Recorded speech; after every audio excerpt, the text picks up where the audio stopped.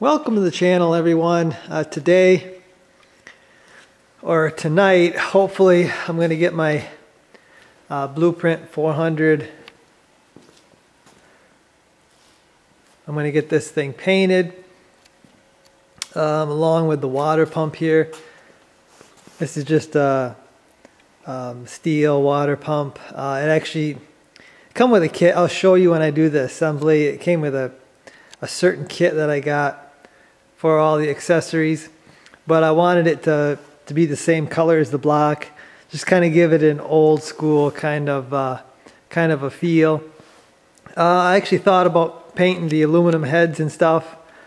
Uh, actually intake aluminum heads and stuff. Um, the, the Chevy orange or whatever, but you know, to give it more of an old school look. But I think, I think I'm just going to leave the aluminum heads and the aluminum intake. I gotta tape them off right now. I just kind of cleaned it off, wiped it down so the tape will stick. Now I gotta run around tape off the heads and the intake and uh, few other things. I gotta tape off the the engine stand. I don't want the engine stand all, all painted either, but anyway, uh, yeah, that's what we're doing tonight. So I gotta get to get the taping so I can get some uh, primer on this thing.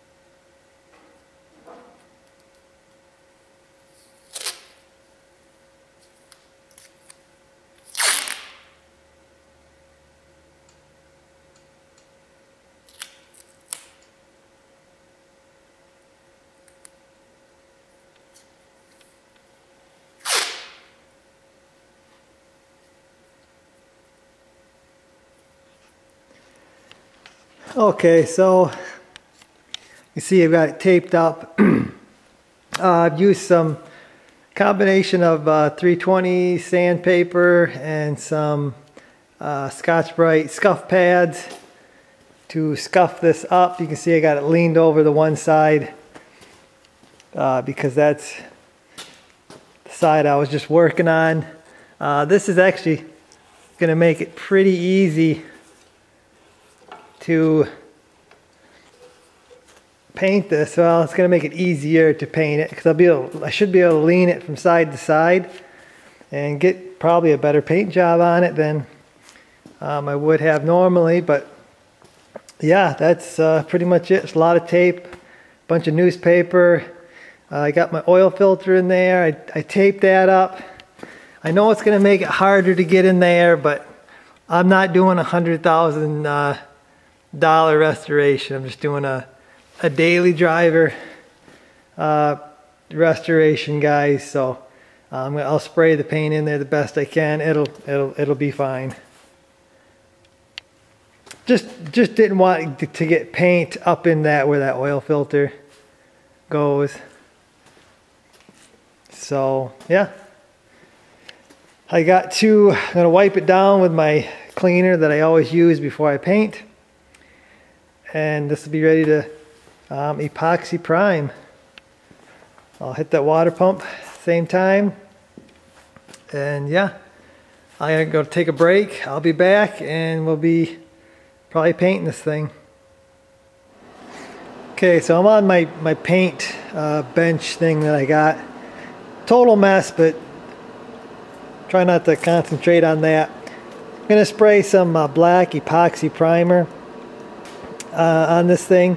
Um, epoxy primer is a really tough, good primer, so it should be a good base uh, for the for the color for this motor. Um, usually in the past I've done etching primer, which again is a really tough uh, primer that etches itself right into the metal. But uh, I got some of that, but I'm going to save that for Dad's motor uh, because um, I need to match need to match the paint I did on his valve covers and intake. Uh, right now, my motor is brand new. I have nothing to match, so I don't uh, have to worry about that. So I'm going to go with the black because that's what I have. Um, yeah, just mixed it up. All paints have different ratios, guys. I use these mixing cups, and that's how I mix uh, my paint. Um, I rarely use uh, paint cans, rattle cans. I do not like rattle cans. To me, that paint is junk. Um, this is the only uh, rattle can that I like to use. It's it's the hard hat Rust-Oleum or the industrial Rust-Oleum. Um, that's like the only uh, paint in a can that I actually will use. I do sometimes use cans if I don't really care uh, about what I'm using it on, but for the most part I like to use the automotive type paints because they're so much more durable. They look better. Everything about them is, is, is better. Um, yeah, so uh, got that little uh, kind of a quick tip here. I've got these cans here and they're they're steel. They got a they got a top here and a lot of times these cans the lids will lock up. Turn them around and give them give them a couple good smacks on on a hard surface and a lot of times that will break these loose. So if you get one of these stuck, turn it around, smack it a good good good few whacks and um, that usually frees them up. So I'm going to get my paint here in my gun. I'm going to start the uh, ventilator on the shop here and um, yeah we'll get to priming this stuff.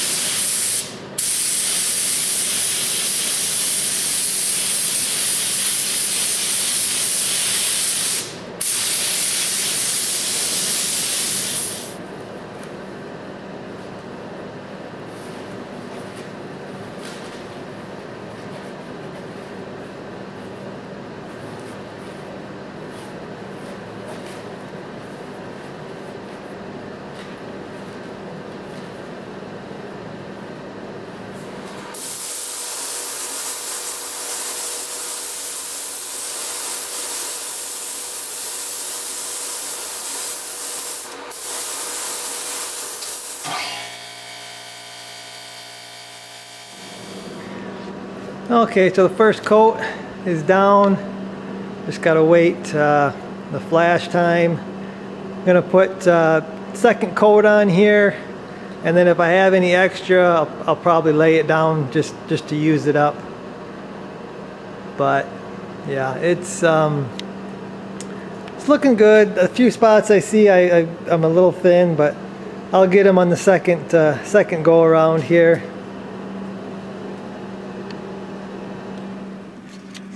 Okay, so time for the color, and there it is all mixed up.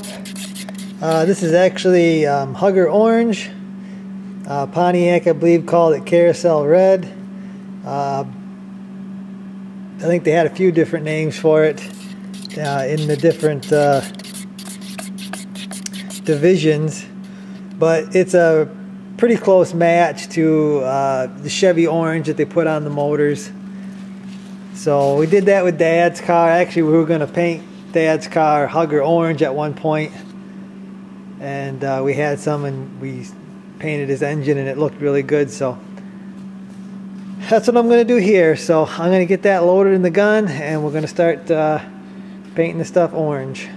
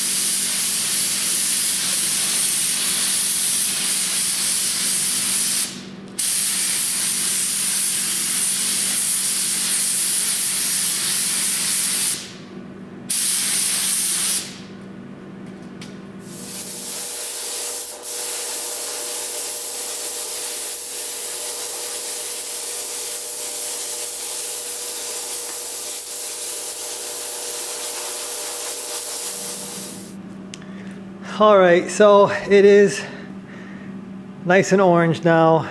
Really looks good. So I'm gonna put some, some clear on it again. I'm not putting clear on it to, to be shiny. It's a, it's a low gloss clear. I'll show you once I get it down. I'm not gonna film the clear. I don't, I don't film the clear most of the time because I, it's, it's pretty bad stuff. It gets all over my camera and this is a brand new camera, so I'm definitely not going to set my camera up and let the clear coat get all over the lens. So I'll get this cleared. Uh, maybe I'll show you when I mix it up and I'll show you the, the end result. Okay, so here's the clear coat mixed up. I only got five ounces mixed up. I uh, might need might need some more than that, but um, that's that's all it is, guys. It's just it looks clear. Um, I ain't gonna need a ton of this because I'm not gonna lay it down real heavy. Uh, the heavier you lay this low, the satin stuff down, you get more of a shine. I don't really want a shine. I want a, I want a really matte finish to it. So uh, I'm not gonna lay a ton of it down. This is really just more for a little more protection on, uh, on the paint, make it a little stronger. So I'm gonna get this in the gun, I'm gonna get this thing cleared, and we'll see what she looks like. Well, there it is, guys. All painted, unwrapped. Uh, I got the water pump just uh, loosely bolted on, just to get it out of the way. I also found uh, a fitting I had from the my big block that should work, stainless steel.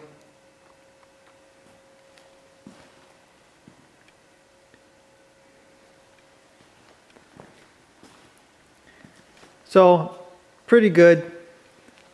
Uh, it's not it's not a perfect job, but for a really nice daily driver,